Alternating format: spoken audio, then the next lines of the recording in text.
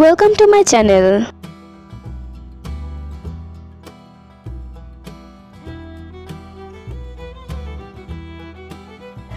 কালোজিরা একটি মাঝারি আকৃতির মৌসুমী গাছ। এতে বছরে একবারই ফুল ও ফল হয়।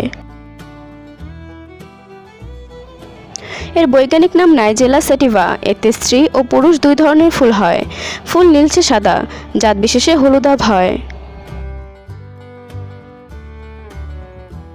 ফুল পাঁচ পাপড়ি বিশিষ্ট। তিন কোণাকৃতির কালো রঙের বীজ হয়।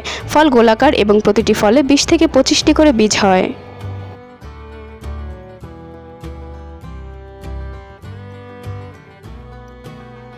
মহানবী হজরত মোহাম্মদ সাল্লাহ আলাইসাল্লাম বলে গেছেন, মৃত্যু ব্যতীত সর্বরোগের মহৌষধ কালোজিরা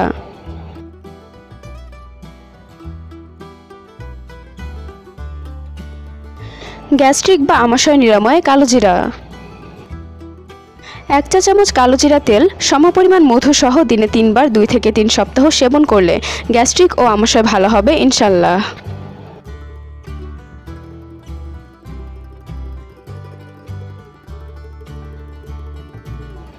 ত্বকের আর্দ্রতার জন্য।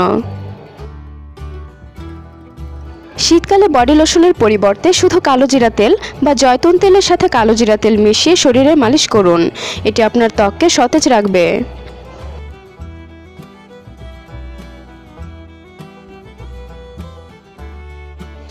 ব্লাড প্রেশার নিয়ন্ত্রণে।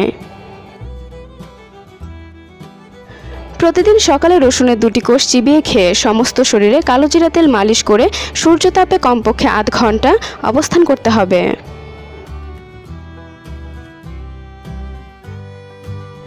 এবং এক চা চামচ কালো জিরা তেল সমপরিমাণ মধুসহ প্রতি সপ্তাহে দুই থেকে তিন দিন সেবন করলে ব্লাড প্রেশার নিয়ন্ত্রণে থাকে।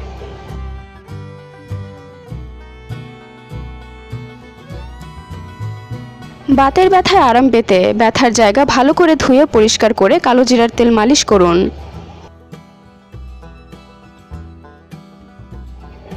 এক চা চামচ কাঁচা হলুদের রসের সঙ্গে এক চা চামচ কালো জিরার তেল ও এক চা চামচ মধু মিশিয়ে দিনে তিনবার খান। দুই থেকে তিন সপ্তাহ টানা খেলে ফল মিলবে হাতে নাতে।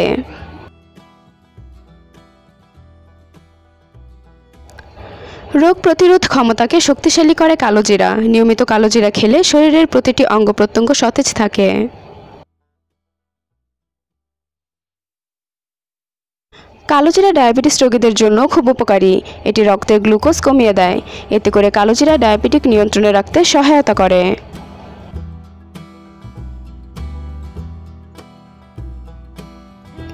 প্রতিদিন কালোজিরার ভর্তা রাখুন খাদ্য তালিকায়।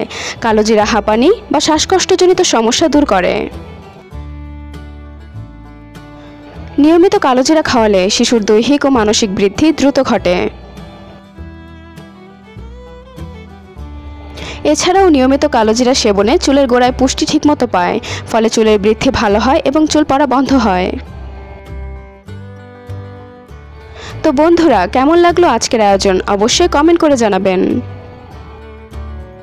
Please subscribe my channel to get more videos সবাইকে ধন্যবাদ।